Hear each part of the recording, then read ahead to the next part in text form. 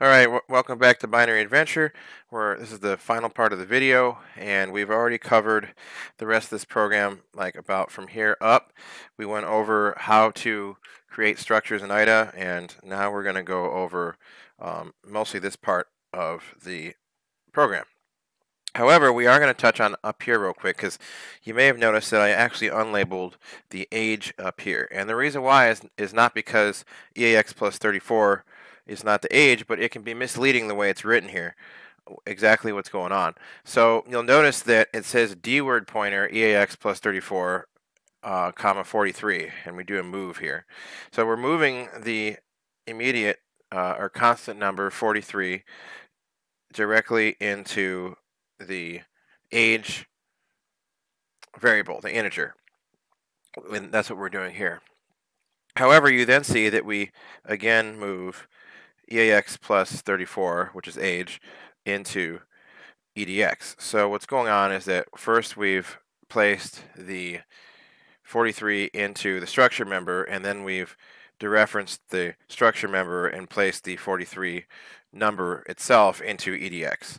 But if I go back here and I hit T, and I do person age, person age, it can be kind of confusing. It just looks like age is being moved twice for some reason in. So that's what's going on there.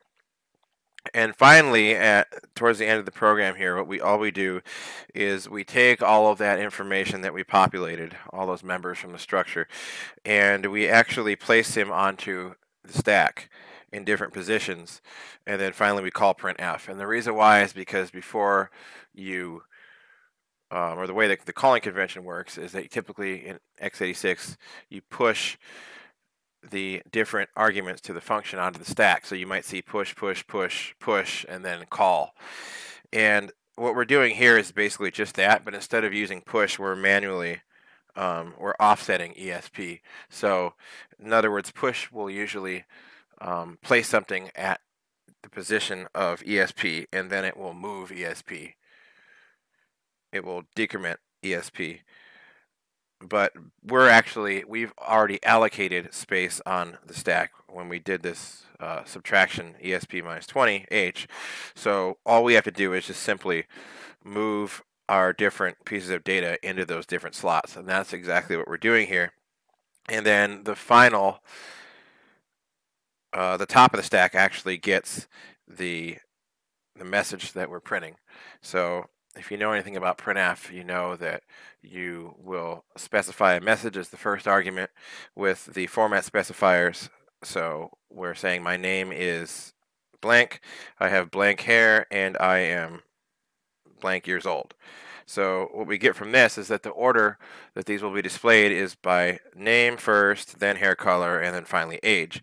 However, we see age, hair color, name, and that's because you always push the arguments in this calling convention in the opposite order. So you push the, the age first since it's last, hair color second since it's it's the second to last, and then name, and then finally the actual um, message to print goes first.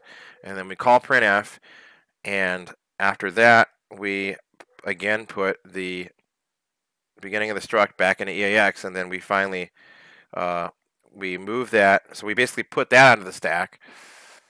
And so that's the pointer that's referencing the struct. And the reason why we're placing that on the stack is because we're passing it as an argument to the call function uh, or the free function, which we're calling here. So we are, as you know, if you malloc something, you need to free it. So we are freeing it here and then we are zeroing out EAX in preparation of return from the function. And um, this actually also has a purpose because if you look at the function, we do return exit success. And um, on many systems, the same meaning of this is return zero.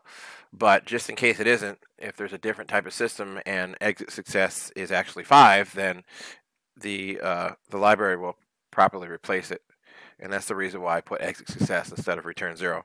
But it has the same effect on this system as returning zero. So we do a, a return zero, and then, uh, or we, we do a move zero in EAX, and then we do a leave, and then we do a return. So what is leave and return? Um, basically, leave does the exact opposite of this. So let's look at what we did up here again. So up here, we subtracted 20 from the stack pointer, and you know we we changed the position of the stack pointer, and then we put the stack pointer into the base pointer, and then we pushed the base pointer. So down here, we're going to put the base pointer into, or we're going to we're going to clean up the stack by adding to ESP by 20H.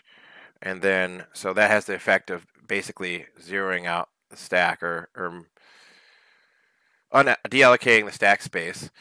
And then we will place the base pointer into the stack pointer, which will reassign the old function or the calling function stack pointer. And then finally, we will pop EBP, which will give our previous function back its base pointer.